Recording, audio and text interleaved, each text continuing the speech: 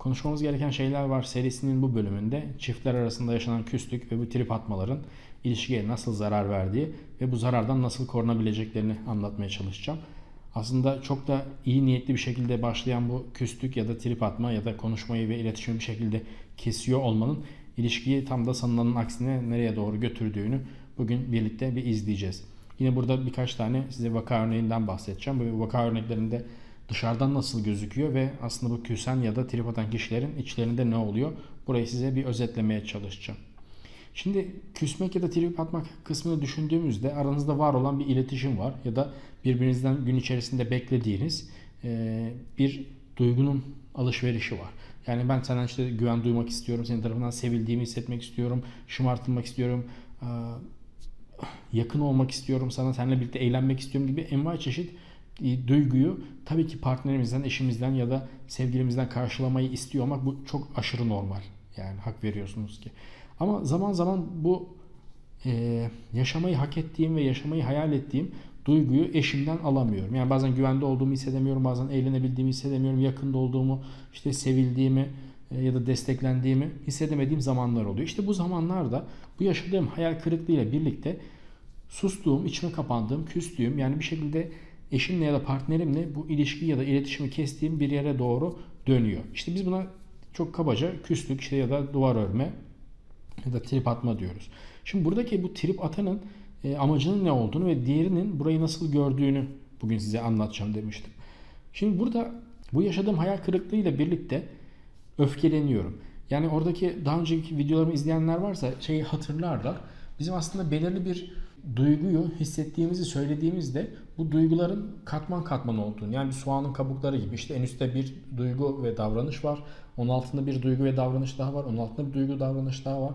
Ve ben her bir duyguyu hissettiğim için içinde e, bu duygunun hissedilmesi neticesinde ortaya çıkan başka bir duyguya doğru evriliyor.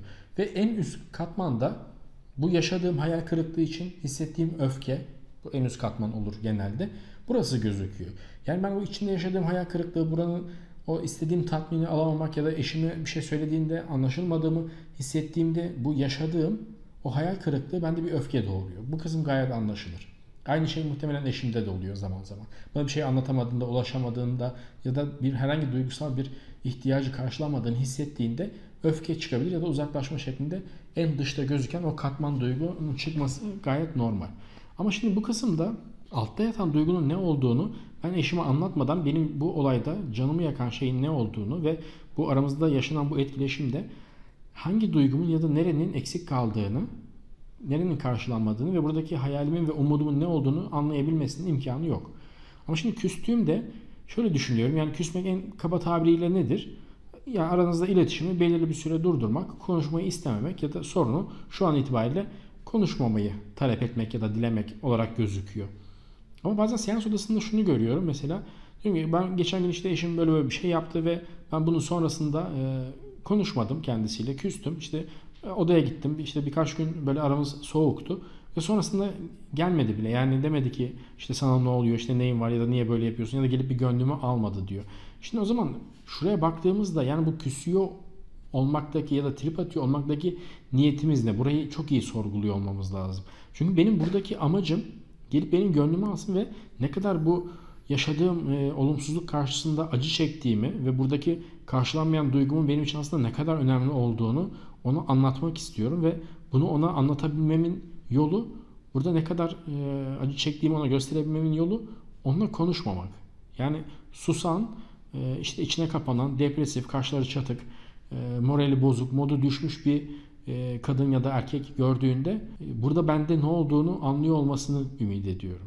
Tamam okey ümit ettiğin şey bu ama diğer tarafından gözüken şey kendisiyle konuşmayan ya da belki kendisini hatta cezalandıran bir kadın ya da erkek gördüğünde o seninle aynı şeyi maalesef o anda hissetmiyor. Ve bizim burada bugün size anlatmak istediğim bu e, en büyük temel taşlardan bir tanesi şu ki bir durum bazında bu durumu analiz ederken yani birisine kızarken ya da birisine bir duygu hissederken sadece kendi tarafımda neler olduğunu görme eğiliminde oluyorum genelde. Yani ben burada ihtiyacım olan şey diğer tarafından gelinip gönlümün alınması ya işte ne oldu hayatım diye e, orada bir ilgi uyanması ya da beni ne kadar kırdığını anlaması iken o en son geldiğim noktada e, onun hiç yanıma gelmediği, e, benimle konuşmadığı bir senaryoya doğru dönüyor. Ama şimdi burada işte yaptığımız yanılsama şu ki ben tek taraflı bir şekilde benim yaptığım davranışın içeriden bakan kişi olarak bunu bizatihi yaşayan kişi olarak ben ne olduğunu ben de biliyorum. Kırıldığımı ve oradaki beklentimin ne olduğunu farkındayım. Gelinip gönlümün alınması gibi. Ama dışarıdan bakan kişi burada uzaklaşan, muhtemelen kendisine kızan, hatta yanına gittiğinde belki gönül almak için tersleneceği bir e, algısı varsa eşimizin ya da sevgilimizin bu kızın da bizde bunu görüyorken o bile bile lades derler yani gidip orada bir de kendisini azarlatmasının ya da işte gittiğinde o gitmesinin ya da gönül alma davranışının herhangi bir işe yaramayacağını bildiği durumda geliyor olması çok zor. O yüzden biz herhangi bir duygu hissettiğimizde ve bir davranışta bulunduğumuzda ve bu davranış işe yaramadığını düşündüğümüzde yani bu küstüğümüzde, kızdığımızda, bağırdığımızda, öfkelendiğimizde, birilerine çattığımızda bunların tamamını aslında pozitif bir ümitle ya da umutla yapıyoruz. Yani birisine kızdığım zamanda da aslında onun çok daha derinlerinde pozitif bir ümitle yapıyorum. Yani gitsin başımdan ve bir daha işte benim yüzümü görmesin ve işte unutsun beni. Bu ilişkinin bir daha işte ayağa kalkmayacağını, bizden bir halt olmayacağını anlasın ümidiyle yapmıyoruz.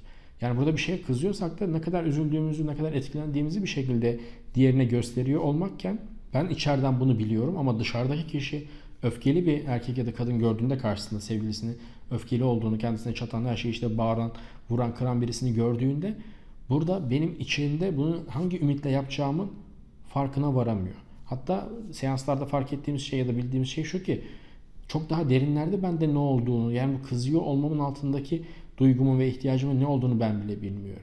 Evet yakalayabildikleri en kolay kısım burada büyük bir hayal kırıklığı var. Bunu yaşamak istemiyordum ya da haksızlığa uğruyorum, adaletsizliğe uğruyorum ya da kendimi çok çaresiz hissediyorum. Yani burayı defalarca denedim ve bu ilişkiyi de yine sürekli aynı çukura düşüyor olmanın verdiği bu ümitsizlik ve e, çaresizlik hissiyatıyla birlikte bir öfke doğuyor ve bu öfke beni şeyler yapmaya, birilerine sataşmaya doğru işte ya da bu hıncımı, öfkemi bir şeylerden çıkartmaya doğru götürüyor demek. Ama unutmayın karşınızdaki kişi en derinlerinizde ne olduğunu farkında değil ve o sizin sinirli, öfkeli ya da uzaklaşan kendisini trip atan, konuşmak istemeyen bir kadın ya da erkek gördüğünde bu kısma uymak isteyecek. O yüzden bu yardım çığlığını atarken yani bu küsme ve trip atma özelinde söylüyorum. Burası da bir yardım çığlığı olarak görüyorum. Yani gel ve gönlümü al ve bu karşılanmamış ihtiyacımı bir an önce karşıla çığlığı diğer tarafından nasıl gözüküyor bu kısma bakın olur mu? Çünkü bu kısımda sizi saldırgan ve öfkeli ya da benim yanıma sakın yanaşma sinyalleri veren bir kadın erkek olarak görüyorsa sizin yanınıza yaklaşmayacak demek. Ve gerçekten benim yanıma yaklaşma diyorsanız da bunu e, sizi çok iyi anlayacağı şekilde küserek ya da trip atarak değil. Yani şu anda biraz yalnız kalmaya ihtiyacım var gibi biraz daha anlaşılır bir dilden söylemeniz gerekiyor. Bunu söyledikten sonra yani ihtiyacınızın gerçekten ne olduğunu belki gerçekten evet yanınıza yanaşmamasına ya da size bir süre yalnız kalmanıza ihtiyacı olabilir. Bunu söyleyebilirsiniz. Ya da gerçekten gel ve gönlümü al kısmını söylüyor olabilirsiniz. Şimdi bunu izleyen bazı e, seyircilerin şunu diyeceğini biliyorum.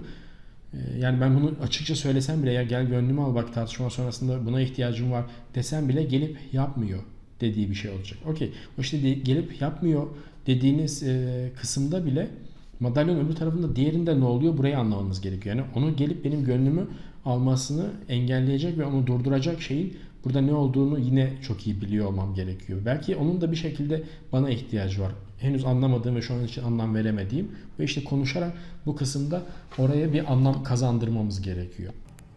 Burası anlam kazandıktan sonra bile bu isteğinizin yerine gelmediği bir şey olabilir, kısım olabilir.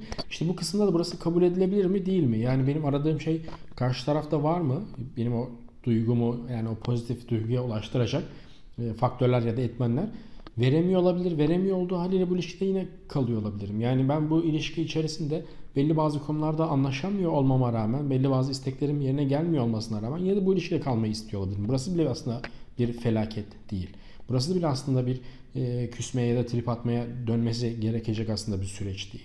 Genel sürece şöyle bir bakmak gerekirse bir küsüyor olmanızdaki gerçek niyetiniz nedir? Yani gelip gönlümü alsın, ne kadar acı çektiğimi anlasın ise burada okey bunu yapmanın yolu küsmek ya da trip atmak olmayacak. Çünkü küsüp ya da trip attığınızda eşiniz bana dokunma, benden uzak dur, bana şu anda bulaşma mesajı alacak.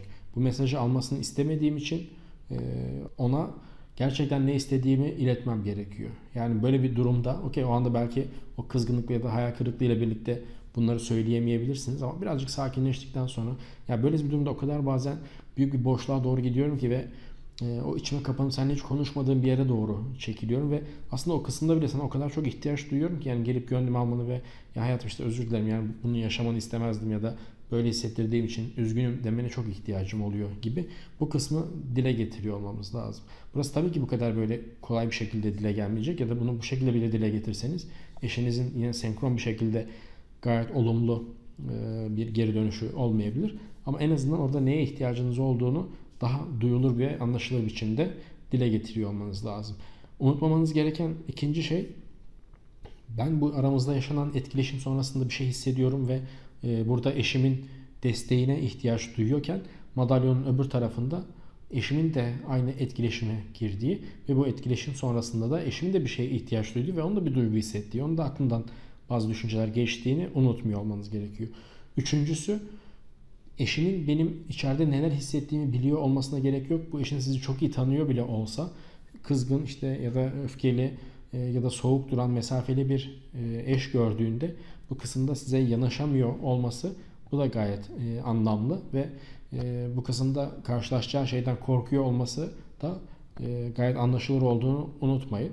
Son dördüncü olarak da bu cennet ve cehennem vadileri dediğim tarafta beni öbür tarafa geçiren şeyin aslında yani tekrar beni iyileştirecek şeyin de olduğu kısmını hafızamızdan çıkartmayalım lütfen. Peki umarım sonuna kadar buraya kadar izleyip dayanabilmişsinizdir. Beğendiğinizi umuyorum buraya kadar da izlediyseniz. Eğer beğendiyseniz de beğen butonuna tıklamayı unutmayın. Kanalda hala abone olmadıysanız şuraya tıklayarak kanala abone olabilirsiniz. Diğer videolarımı da izlemek isterseniz şu aşağı bıraktığım izleme listesine bir bakmanızı öneririm. Görüşmek üzere.